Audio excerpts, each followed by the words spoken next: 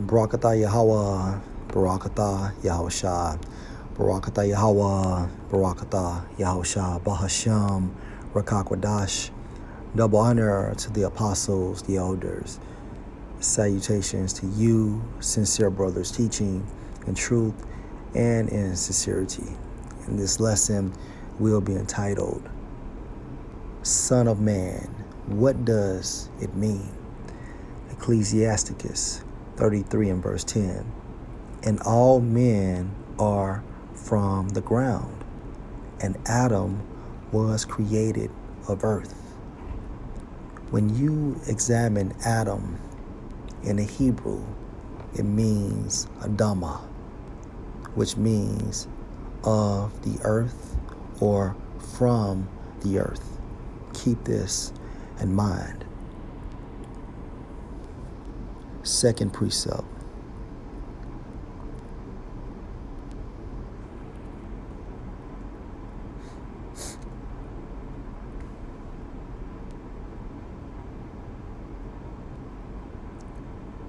Second Ezra 6 and 54.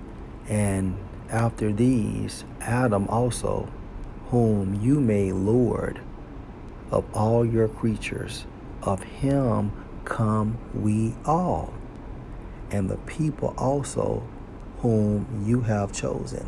And this is literal.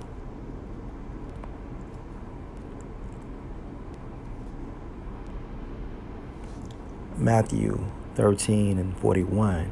The Son of Man shall send forth his angels, and they shall gather out of his kingdom all things that offend, and them which do iniquity. When we focus on son in the Greek, Strong's G 5207. Huios. Huios. according to outline of biblical usage, 1b generally use of the offspring of men, meaning what? Going back to Adam. 1c in a restricted sense, the male offspring, one born by a father and of a mother. All right. And this proves the title Son of Man proves that Yahushua had a physical father and a physical mother.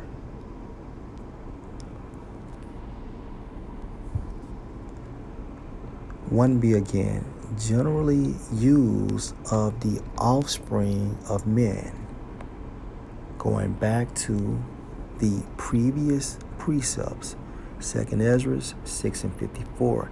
And after these, Adam also, whom you made Lord of all your creatures, of him come we all, and the people also, whom you have chosen. Referring back to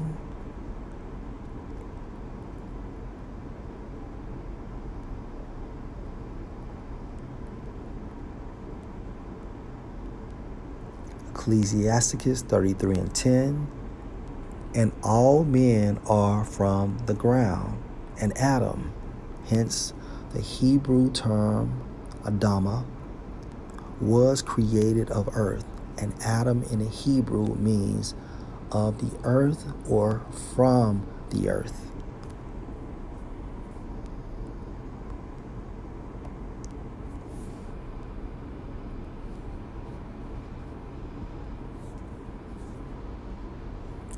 Matthew 13 and 41 The Son of Man shall send forth his angels, and they shall gather out of his kingdom all things that offend and them which do iniquity. Every man, okay, on earth, and you can include women, all right, can be classified as the Son of Man. Why? Because everybody goes back to Adam. But out of all these sons of men, the Most High had a chosen.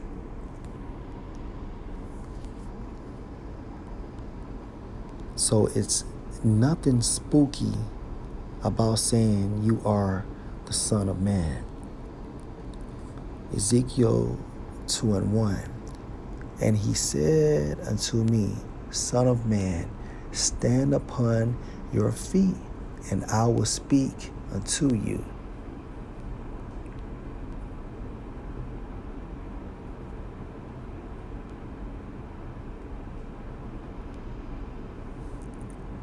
Verse 2 And the Spirit entered into me when he spake unto me and set me upon my feet. That I heard him that spake unto me, and he said unto me, Son of man, I send you to the sons of Israel, to a rebellious nation that have rebelled against me. They and their fathers have transgressed against me even unto this very day. And as you can see, Ezekiel had the classification as the Son of Man.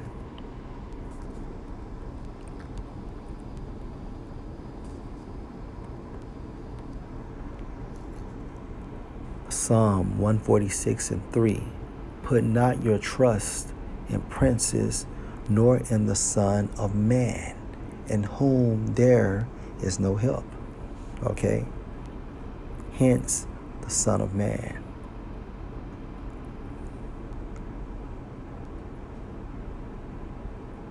Psalm 144 and 3 Lord, Yahweh, what is man that you take knowledge of him, or the Son of Man that you make account of him.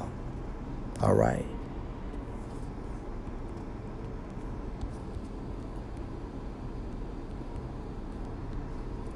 Matthew 13 and 41 The Son of Man shall send forth his angels, and they shall gather out of his kingdom all things that offend, and them which do iniquity.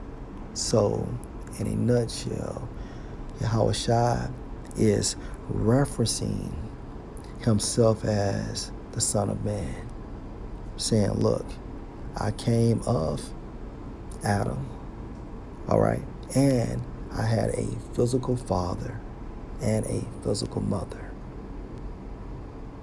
which proves, okay, that Joseph was his father, his physical father.